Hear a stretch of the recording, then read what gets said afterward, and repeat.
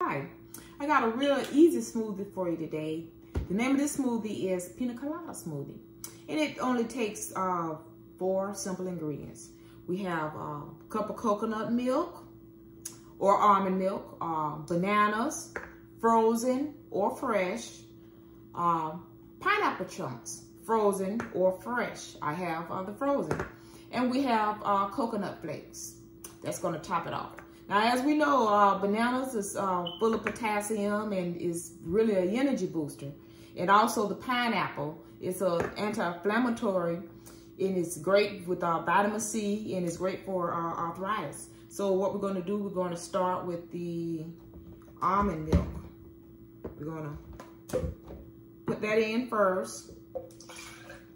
We're gonna put our couple bananas in there. We're gonna put, put in our pineapples and then coconut flakes. And we're gonna blend it.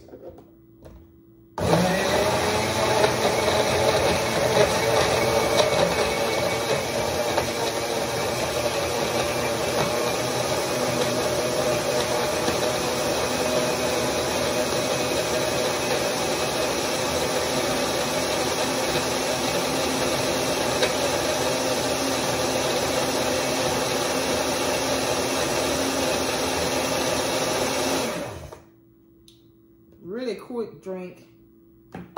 Could use this as a daily. Look at those bananas in there. Look at that color. There you are. Pina colada. Thank you.